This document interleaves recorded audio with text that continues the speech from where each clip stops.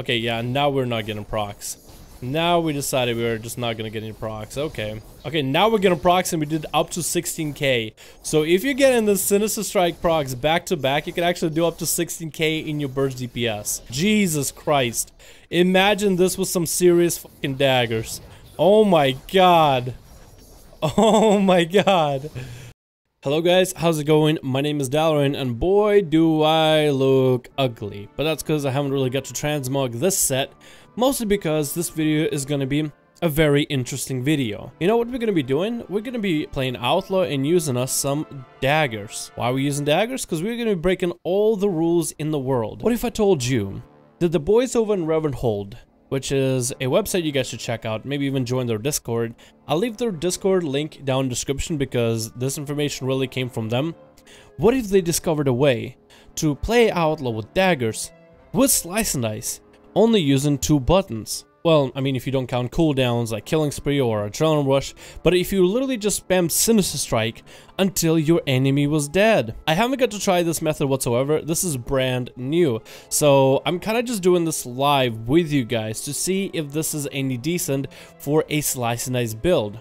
Now, majority of the time people will tell you that Slice and Dice is not it's okay it's not the greatest thing ever but it does make a difference between like 12,000 DPS and 11,000 DPS now, these DPS numbers are before any of the raids and Mythic Plus dungeons are out. So if you're watching this video by the time dungeons are out, at this time, getting around 12, 13, maybe 14 is the highest second week of Battle for Azeroth. So in this video, we want to take a look at this brand new build and where it ranks with everything else. Now, I simmed my character a couple times. I am simming at Raidbots at about 12.3 k worth of DPS. So in this one we want to run the sims as well as test this build for ourselves against the train dummy to see if it's any good or not. Now what I'm going to be doing in the background of this video as we're making our way to the train dummies is getting myself a quick sim for my character to see what the website is thinking of. So the sims just came in and this build is getting in sims about 8.620 DPS and that's a very low number compared for the item level that I have. The item level I'm rocking is 341. So let's talk a bit about the theory. What is the snake build so I can take a look at it uh, with you guys live. I haven't got to take a look at it at all, so I'm trying this out for the first time.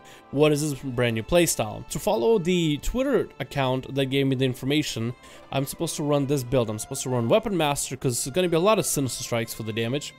I'm running acrobatic strikes, vigor for the spam, cheat death, doesn't really matter what you go run this row, doesn't really matter what you run with this row, slice and dice, and killing spree. I guess killing spree just because you need some AoE burst damage if ever necessary. And the reason it's called a snake build because we will be running snake eyes. For each combo point spent on slice and dice, it causes the next 5 sinister strikes to deal 327 additional damage. Now I have that buff times 3 on all three of my pieces. And of course I have some extra bonuses here, but those don't really matter as much. The fact is we have this extra bonus. Now part of this build, which is the weird part, is you actually are running two daggers. So I'm running myself a haste dagger with mastery uh, in uh, offhand and a haste crit one in the main hand. I don't have these gemmed, I don't have them enchanted just because I want to see what's it like to for this build to run. I don't want to have to put in all the enchants and then uh, and find out that it does maybe like no damage. Most of the rest of my gears focus on haste, uh, has a bit of critical strike, uh, not that much mastery. Actually, this is like the most mastery I've had from some of these pieces, actually, and uh, trying to focus on versatility for the rest of it. So the idea behind this build in the rotation is you're supposed to get yourself five Sinister Strikes.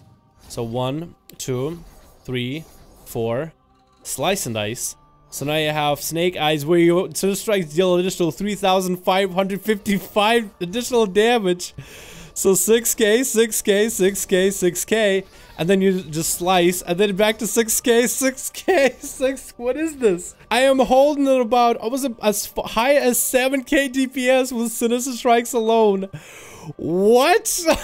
the highest hit is a crit. Wait, what, what did I just remove it? Uh, the highest crit on normal is about 6k, and the crit is about 5k, so uh, normal thing didn't crit yet.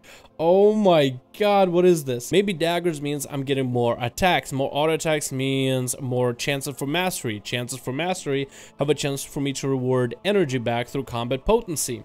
Is at least my thought process here with this. I have more chances to get myself 10 energy because my offhand attacks have a 75% chance to get 10 energy. I don't know why my main hand has, uh, why am I rolling dagger in the main hand to begin with? Okay, so let's try getting a normal opener on a training dummy. So what we're gonna do as part of this build is the amount of combo points spent into your Sinister Strike. For each combo point, it increases the damage of your next Sinister Strike. So we're gonna get our Vanish, uh, we're gonna get our Ambush, Vanish, Ambush, uh, uh, Opener, get ourselves a Slice and Dice, and then we're just gonna spam five Sinister Strikes into a Slice and Dice. Five Sinister Strikes into Slice. You guys ready? This is, we're doing this live. Bam, bam, Sinister Strike. We're getting like two, three, four, five, reroll. One, two, three, four. Oh, oh look! Every time it has a uh, secondary uh, sinister strike, it actually doesn't. Okay, so if I get like a a proc for sinister strike, it actually takes it up. All right, cool. So you're supposed to watch out for procs, actually. Okay, that's interesting. Okay, so what I think what happens is my, when you have a dagger in your uh, main hand, you have more chances for you to get your mastery proc. So master works if your main hand attacks have a 30% chance to trigger an attack with your offhand. So that's where you have a dagger, so you have a higher chance to trigger that mastery, and it's set at 30%. And then you have your offhand swing in which has a chance to trigger combat potency, and as far as I remember, mastery does have a chance to trigger combat potency, as offhand abilities, even the ones of mastery, have a chance, 75% chance to generate an energy. So you basically are trying to use fast weapons to trigger mastery as often as you can, and offhand attacks with your offhand weapon, so then you can trigger combat potency as often as you can, giving you back the energy so you can spam Sinister Strike, if that makes any sense. Bam, Sinister Strike. And then, okay, and Sinister Strike again. Oh my god. 13k? What is this burst? And we're gonna re-roll again. And I guess when you're out of energy, feel free to use Killing Spree, and we're doing 13k DPS. We can do one more Sinister Strike, re-roll. Sinister Strike. Sinister Strike. Uh, are we getting procs? We are getting a little bit of procs here and there. Yep. That's value. Another value proc. Didn't get the proc, which is perfect. And I feel like with higher haste numbers, you can actually get even more damage out of this. And I have a lot of haste in my gear anyway. I guess if you get a little bit of crit too, maybe a bit of versatility, you can actually get some big damage out in the opener. That is so weird. Oh my god. I'm maintaining 11k. So if I, imagine if I had better daggers. Imagine if I had better dagger weapons. I feel like I could get a lot more damage out of this. I could get a, lot more value out of this. I mean, for a build that utilizes two buttons, essentially, this isn't bad at all. Again, this build utilizes literally two buttons. So, if you get better gear, if you get better daggers, I feel like you could actually get some decent damage in here. I also want to try the AoE of this. I want to see how strong this is. So we're gonna AoE them. Then get our snake buff in there. Here we go. Sinister Strike's back in there. and one more. And re-roll. And Sinister Strike's in there. And see if we can get a Blade Flurry in there. More Sinister Strikes. More Sinister Strikes. Re-roll. More Sinister Strikes. Sinister Strikes. And didn't get the proc.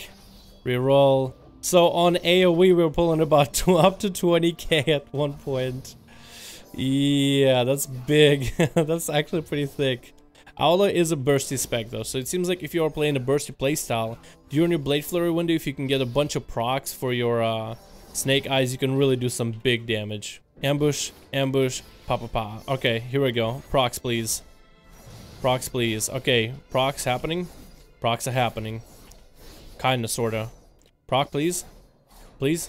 Yeah, uh, uh, uh, I'm getting screwed by the RNG right now. That could have been some big damage just now. Maybe you're not supposed to use ambush in the opener with this playstyle. You're supposed to get as much value out of that ambush, right? You're supposed to maybe, uh, or adrenaline rush. You're supposed to ambush, vanish, ambush, then adrenaline rush, then go ham. Alright, final go. We're gonna give it with daggers. We're gonna give it the best shot we can. So what we're gonna do is ambush, vanish, ambush, then slice and dice. Then adrenaline rush. So we can get a bunch of that energy in there. Okay, yeah, now we're not getting procs. Now we decided we were just not gonna get any procs. Okay. Okay, now we're getting procs and we did up to 16k. So if you're getting the Sinister Strike procs back to back, you can actually do up to 16k in your burst DPS. definitely was a good idea to save Adrenaline Rush for a later time. Jesus Christ. Imagine this was some serious daggers. Oh my god. Oh my god. This is absolutely nuts. This is insane. This is actual insanity. Oh my god. Now that we're sliding down in damage though. This is where it goes downhill. So we're kind of hoping for like the procs for the, uh, wait, can I right click that buff off? Oh, it still does it. Okay, cool. I was wondering if it like removes the cannon. So this is very heavily RNG build, I think. But this is so fun and so weird.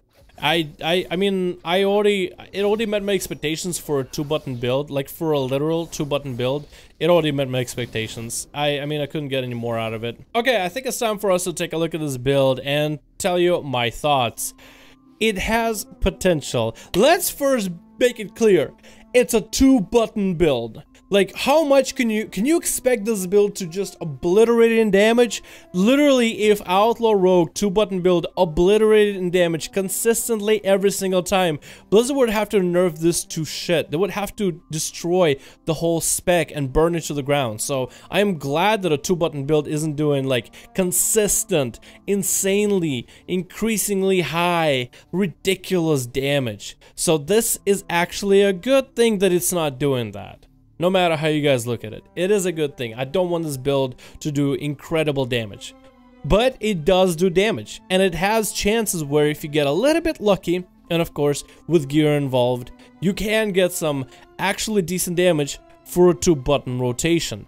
Now, it isn't perfectly like, you know, some kind of a predictable rotation that you can make in a cast sequence. It actually does need you to watch out for the buff, because the extra slashes from Saber Slash do uh, take away a stack of that snake buff. But with this snake build, uh, with double dagger, with these type of talents working with slice and dice killing spree weapon master you can actually have yourself a somewhat competitive, very easy two-button rotation Outlaw Rogue build that utilizes daggers. So if any of you are playing uh, Assassination, if any of you are playing Subtlety, and you want to give Outlaw a go, and if for whatever reason you have a bunch of pieces of gear with Snake Eyes buff just laying around for no reason, you can give this build a go as well.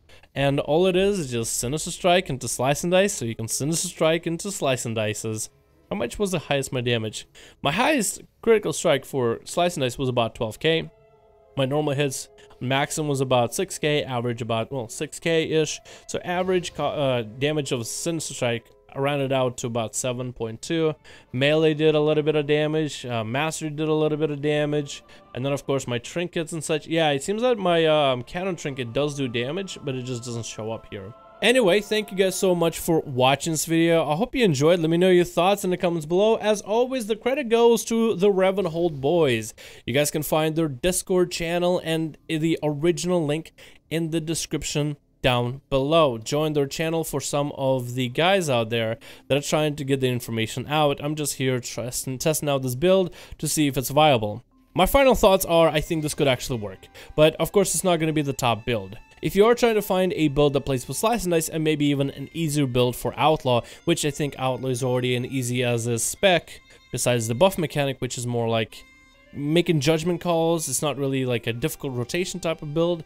I think that this actually kind of uh, it's interesting. It's I what I like about it is the fact that you get to utilize Azerite bonuses in order to craft a build, and you're getting these wacky type of combinations. Probably with perfect stats and perfect gear, you can actually kind of maintain yourself in the mid to mid-high damage charts. I don't think you'll be blowing everybody out of the water unless you're getting the proc for Weapon Master, Sinister Strike, Second Chance to hit. Unless you're getting that consistently back to back to back, almost every single Sinister Strike then uh, I don't think this build will just be like, you know, ahead of the pack just but just because. So you are playing with, with, dice, you are playing with chances. So if you get a right chance for it, you can get some big damage. If you don't get the right chance, at least you get some average damage, which I guess isn't terrible either. So this is interesting and I kind of sort of like it.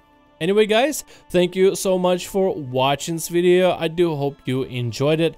And let me know your comments below. Let me know your thoughts below. And give this build a go if for whatever reason you do have the, uh, the Snake Eyes buff or trait available on yourselves. Thank you all, and I'll see all of you in the next one.